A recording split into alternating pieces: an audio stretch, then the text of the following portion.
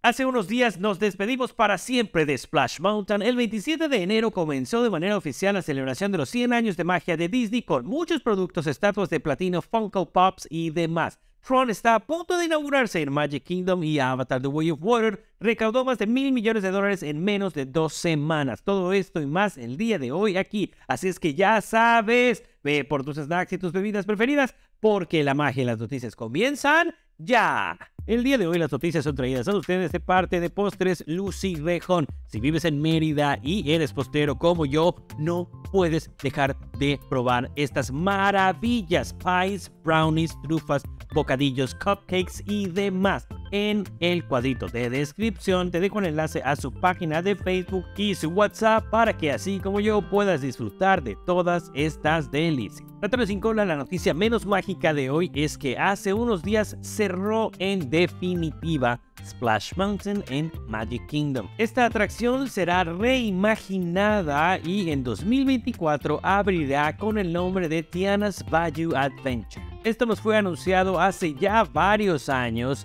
y por fin ya están dándole forma al proyecto. Unas semanas atrás vimos que la gente iba por lo que quedaba de mercancía de la atracción y el día de cierre obviamente la fila llegaba casi casi hasta el castillo. En lo personal esto me produce sentimientos encontrados porque si bien me encanta que estén modificando el parque para agregarle más y más magia, esta era una de las atracciones más populares de todo Walt Disney World. E independientemente de la película en la que estuvo basada y de la o las razones para la cual decidieron reimaginarla, es algo, o era mejor dicho, algo de lo poco ultra ultra clásico que teníamos en el parque. Y de hecho recuerdo que la primera vez que visité Walt Disney World en 1992, los mapas traían el Splash Mountain en la portada porque era la atracción que se acababa de inaugurar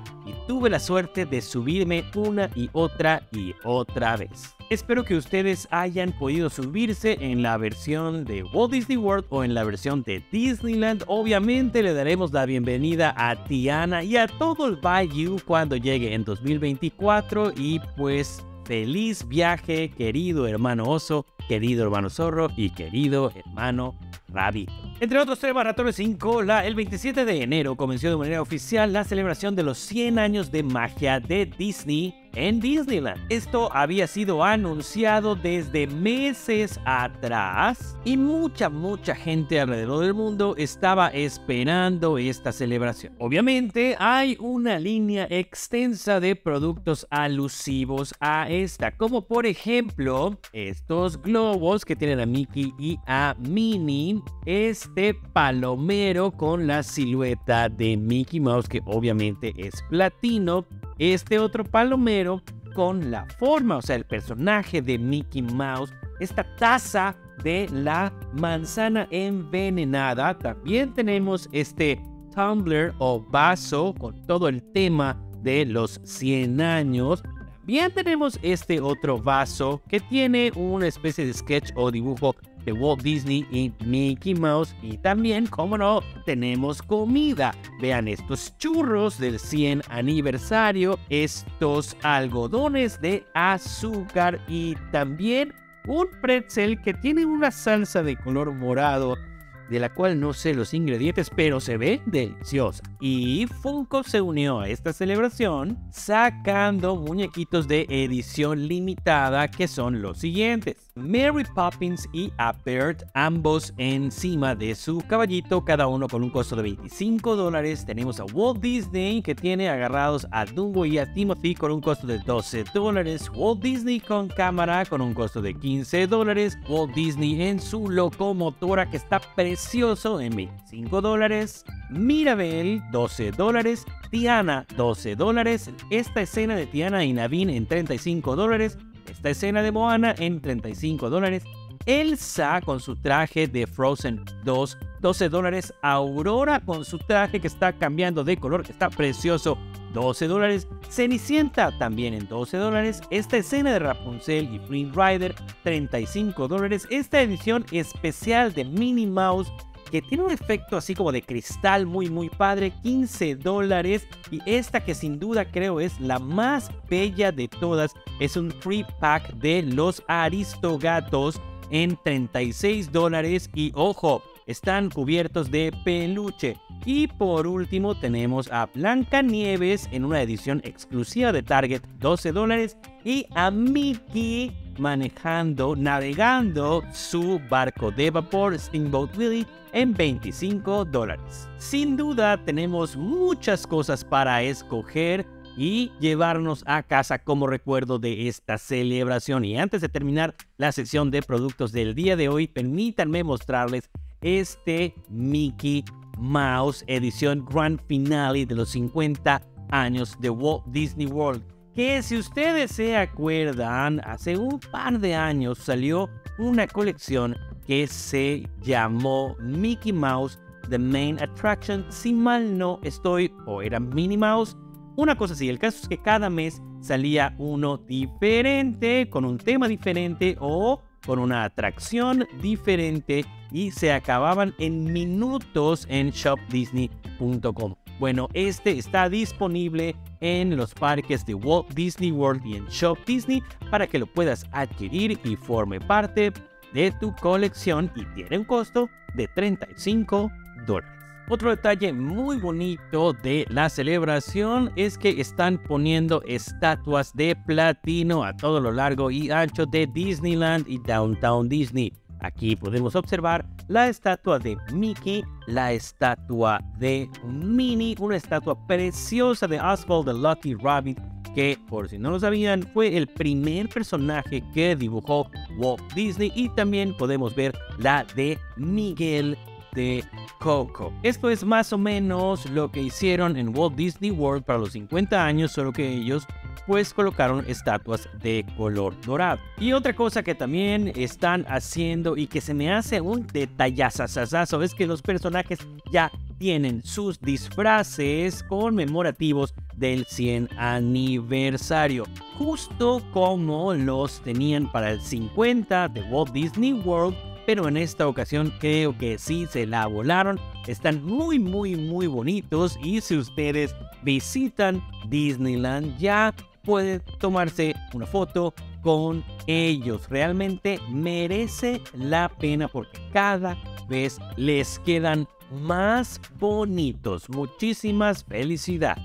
Y pasando a otras noticias Tron Light Cycle Run está a punto de inaugurarse el próximo 4 de abril en Magic Kingdom. Y aquí les voy a decir dos detalles muy especiales. El primero es la manera de abordar la montaña rusa, porque si se dan cuenta, el carro se parece mucho, mucho, mucho al de Flight of Passage. Es decir, no vas completamente sentado, sino vas reclinado hacia adelante como si estuvieras manejando una motocicleta de verdad. Eso quiere decir que vas a tener un arnés en cada una de tus pantorrillas y también en la espalda y agarrarás pues la motocicleta con ambas manos. Pero al momento de abordar, como es en parejas, a cada uno de ustedes le va a tocar un número diferente y van a tener que seguir una línea.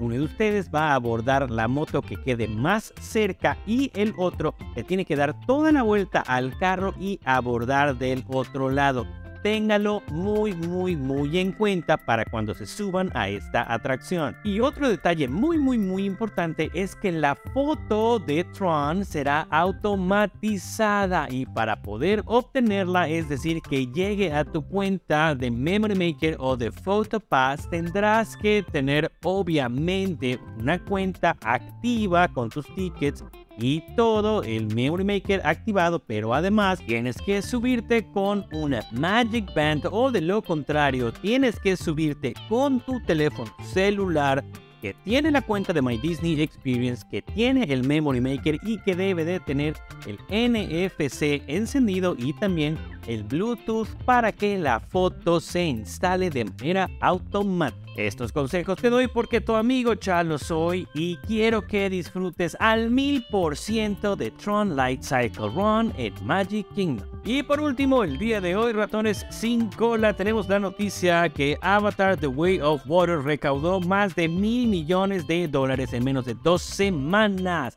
Exactamente alcanzó los 2.074 millones de dólares en todo el mundo. Creo que dije bien la cantidad, sino que me corrijan en los comentarios, por favor. Y esto la convierte en el cuarto lanzamiento con mayor recaudación de todos los tiempos, desplazando a The Force Awakens hacia el quinto lugar. Y James Cameron ha dirigido tres de las cuatro mejores películas y la lista está así.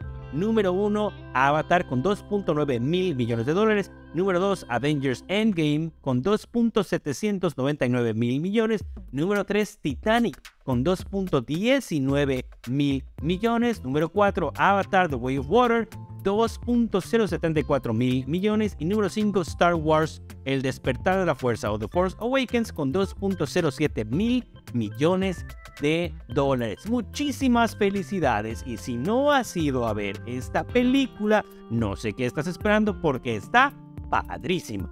Y bien, ratones sin cola, eso es todo lo que tengo para ustedes en el extra extra de hoy. Nos vemos en la próxima y ya saben, a reír que no causa impuestos, sean felices que nada les cuesta y la magia comienza contigo. Soy Chano, nos vemos pronto, bye.